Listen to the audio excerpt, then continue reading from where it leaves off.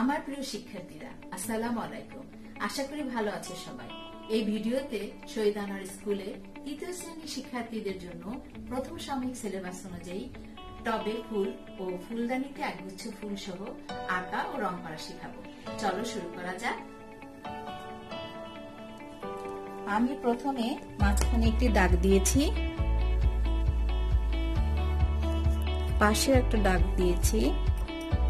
এখন আমি মুখটা আঁকবো। টবের মুখটা এঁকে ফেললাম।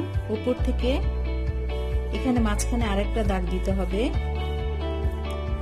সাইডে একটু দাগ টেনে নিলাম। তারপরে ছোট ছোট করে ঢেউর মতন আমরা দিয়ে দিব। এই এই যে দাগটা দিয়েছি, সেখান থেকে এই পাশ থেকে লম্বা করে লাইন টানতে হবে। এই পাশ থেকেও দাগ টানতে হবে। নিচে নিচে একটা দাগ আছে এই সাথে ইউর মতন একটি দাগ টেনে নিতে হবে। পাশে একটু ছোট দাগ দিয়ে আরেকটি দাগ টেনে নিতে হবে। এখন আমি ফুল আঁকবো। ফুল তোমরা অনেক ধরনের ফুল আঁকতে পারো। আমি তোমাদের গোলাপ ফুল আকাশ দেখাচ্ছি। খুবই সহজ, একটু খেয়াল করো। এভাবে প্রথমে ঢেউর মতন দিবে, তারপরে অনেকগুলি পাপড়ি দিবে। পাশ থেকে পাশ থেকে নিয়ে এরকম করে তোমরা গোলাপ ফুল আঁকতে পারো। অনেক সহজ। তারপর এখানে একটা ডাল দিলাম। এখান থেকে একটা কলি, গোলাপ ফুলের কলিটাও প্রথমে ইউর মতন দিয়ে ছোট্ট করে ভিট মতন টেনে নিলাম। এখন আমি পাতা আঁকবো। গোলাপ ফুলের পাতাও কিন্তু কাটা কাটা থাকে। এখানে দেখো, খেয়াল করো, পাতাগুলি ছোট ছোট করে ভাঙা ভাঙা করে ঢেউ মতন দিবে। আমি তোমাদের বোঝানোর জন্য, স্পষ্ট করে বোঝার জন্য এখানে আরেকটা ছবি এঁকে রেখেছি। তোমরা যদি চাও, এখানে তোমার টবে নকশা করতে পারো। এখানে পাথরের মতন দিতে পারো। কীভাবে তোমরা রং করবে, আমি একটু দেখিয়ে দিচ্ছি। তুমি এই ফুলে লাল ফুলও দিতে পারো, পিঙ্ক কালার দিতে পারো, তোমার পছন্দ মতন যে কোনো রং দিতে পারো। আমি জানি আমার শিক্ষার্থীরা অনেকেই পিঙ্ক কালার পছন্দ করে। আশা করি তোমরা দেখছ, খেয়াল করছ, আমি কীভাবে রংটা দিচ্ছি। হালকা করে তোমরা গোলাপি রংটা, গোলাপি মানে পিঙ্ক কালার এই রংটার সাথে একটু সাদা রং মিশিয়ে দিবে। দেখো, চমৎকার পাপড়ি হয়ে গেল। এভাবে তোমরা পুরা সম্পূর্ণ ফুলটা করে নেবে। একটু সাদা রং দিবে, পাশাপাশি একটু গোলাপি রং দিবে। পাতাতেও এরকম হালকা সবুজ, গাঢ় সবুজ। এই দুটো রং আমি দিয়েছি এখানে। তোমাদের বোঝার জন্য আমি আরেকটা ছবি তোমাদের সামনে দেখাচ্ছি। দেখো, এখানে চমৎকার টবে ফুলের ফুল, টব সহ ফুল যে আমি এঁকেছি, সম্পূর্ণ রং করা আছে এখানে। এখানে দেখো, ছোট ছোট আমি পাথর রেখেছি। এখানে তুমি বিভিন্ন রং দিতে পারো। নকশা একটা দিয়েছি, তোমার পছন্দ মতন এখানে নকশাও করতে পারো। তারপরে এটা যে একটা ফ্লোরে আছে বা ছাদে আছে, সেজন্য আমি এখানে অ্যাশ কালার দিয়েছি। অ্যাশ কালারটা তোমরা পাশ দিয়ে এরকম হালকা করে, গাঢ় করে দিতে পারো। তারপরে তুমি সম্পূর্ণ রং করা শেষ হওয়ার পরে বর্ডার দিবে। কিছু কিছু জায়গায়। ফুলের পাপড়িগুলো তো হালকা করে বর্ডার দিবে, যাতে ফুলটা দেখতে সুন্দর দেখায়। আমি কিন্তু সব জায়গায় দিচ্ছি না খেয়াল করো। পাতাগুলোতেও তাই হালকা করে দিবে।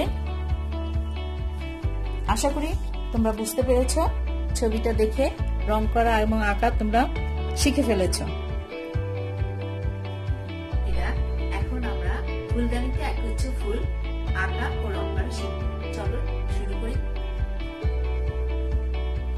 প্রথমে লম্বা একটি দাগ দিতে হবে।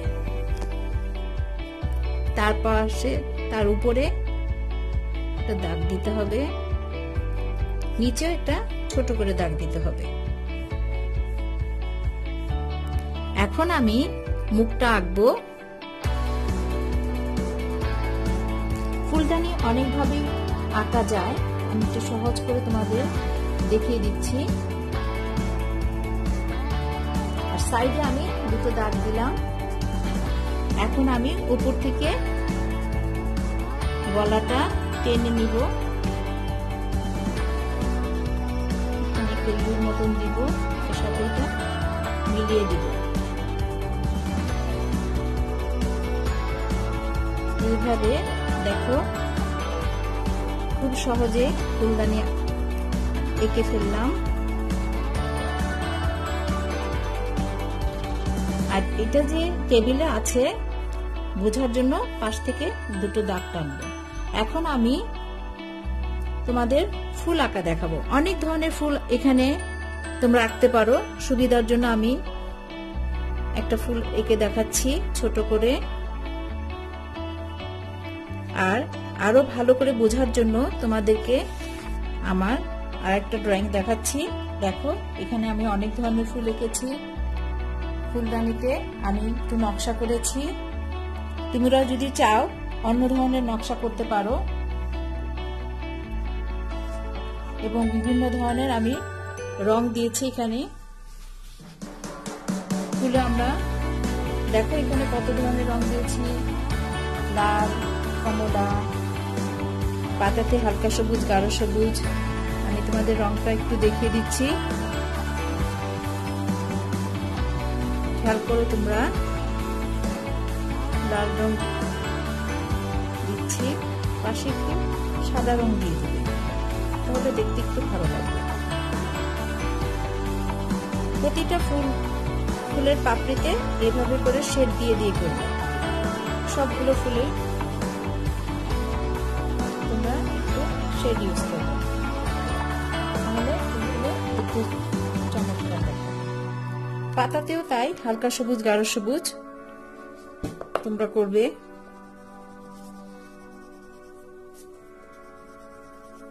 আর ফুলদানিতে বিভিন্ন ধরনের রং আছে, তোমরা দেখতেই পাচ্ছ। হালকা নীল, গাঢ় নীল কমলা, এখানে হলুদ। আর টেবিলের রং বোঝার জন্য একটু খয়েরি রং তোমরা দিতে পারো।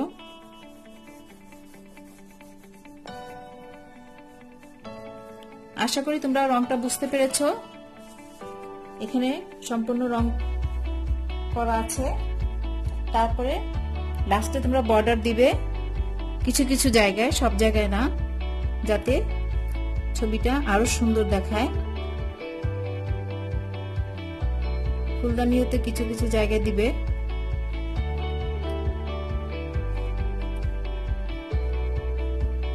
টেবিলের পাশ দিয়েও একটু লাইন টেনে নিবে